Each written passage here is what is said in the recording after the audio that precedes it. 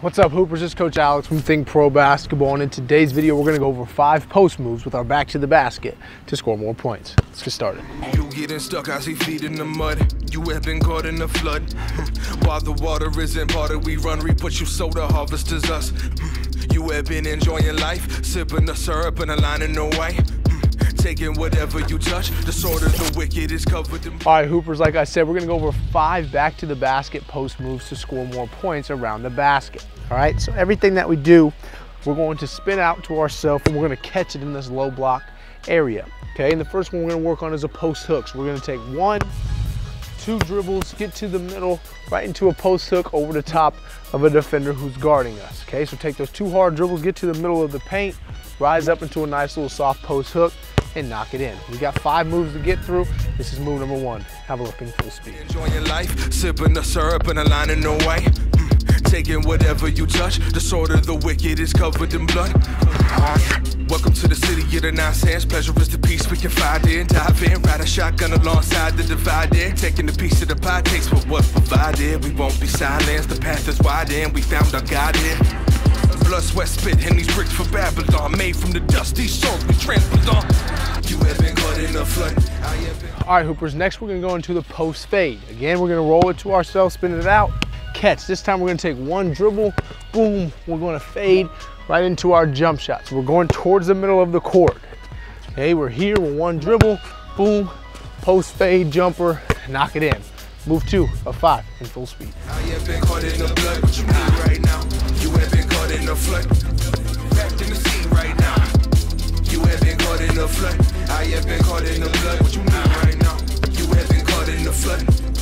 Caught in the sea right now. You have been caught in the flood. I have been caught in the blood. What you right now? You have been caught in the flood. All right, Hoopers, we're going on to move number three. We're now gonna work on the up and under. So we're spinning it out, boom. We're going one hard dribble towards the middle, shot fake up, underneath, layup, score, easy game, simple as that. Okay, so you're freeing yourself up. That one hard dribble, that means we're going quick. We're not waiting, we're not going one, we're not going two. We're catching, we're going one, boom, right into it, shot fake, up, under, and score right at the rim. Move number three in full speed. right now.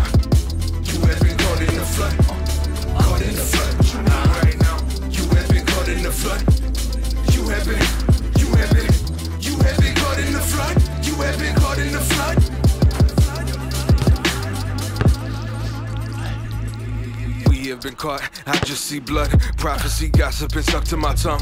I could be locked in this occupant. All right, Hoopers, moving on to move number four, we're now gonna work on the quick spin. And what we're gonna do is catch it, and once we feel, it's a quick move, so you're gonna feel that defender on that top side, we're just gonna spin right off of them, get to the basket, and score. Okay, so we're here, we're feeling them out, oh, quick spin, right off of them, they're behind us.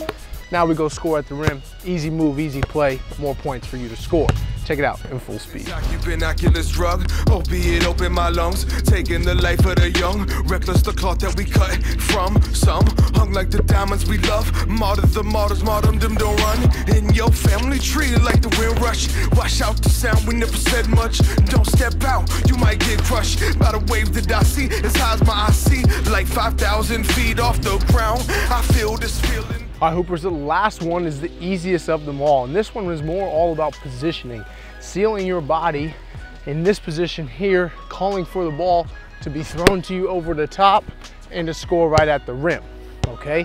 So now with this drill, what I want you to do is simply angle yourself. Put your left foot, if you're on this side of the court, put your top foot up, create the angle so your passer can throw it to you here, and all you have to do is drop that foot, catch and score. Okay, so this is for one, if a defender's on that top side, you're holding them off, you're holding them off, boom, throw it to yourself, catch, easy score. This again is all about positioning yourself, giving yourself the correct angle to be able to catch, and without even having to put the ball on the floor, score right at the rim. Your fifth and final move, check it out in full speed.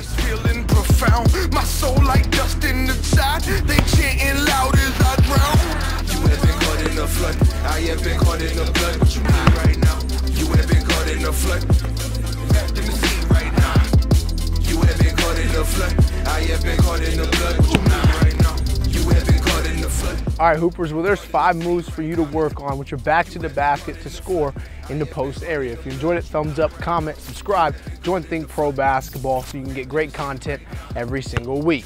Now, it's your job to actually get out there and put the work in, hit the gym, hit the court, get outside if you got to, but most importantly, remember to always keep hooping.